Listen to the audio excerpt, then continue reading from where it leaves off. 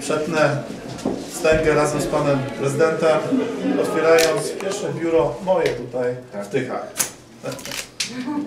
Gratuluję panie ministrze, panie prezydencie. Bardzo miło, że ksiądz odwiedził nasze biuro.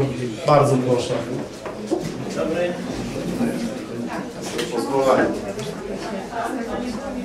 Módlmy się. Ojcze Niebieski, Ty dajesz nam wiele dowodów swej dobroci. Uczyń nas wdzięcznymi za to, co dla nas czynisz. Spójrz z miłością na tych wszystkich, którzy w Tobie pokładają nadzieję. Pobłogosław ten lokal i strzeży go mieszkańców, pracowników i odwiedzających. Udziel im Twojego pokoju, zachowaj ich od zła. Daj im tego, czego im potrzeba do życia i otwórz ich serca na potrzeby bliźnich. Przez Chrystusa, Pana naszego. Amen. Pierwszy.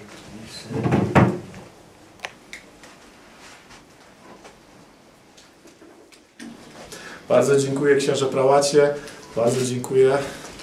Szanowni Państwo, chciałem przywitać e, wszystkich e, tych, którzy nas zaszczycili. Witam serdecznie także przedstawicieli różnych środowisk tutaj z Tychu. Witam Solidarność. E, Dlaczego otwieramy to biuro tutaj? Żeby służyć ludziom, żeby być bliżej ludzi, problemów ich. Ludzie potrzebują pomocy w różnych sprawach ze względu na to, że posłem jestem wiele lat, ale także ministrem. Byłem przez 5 lat wiceministrem sprawiedliwości.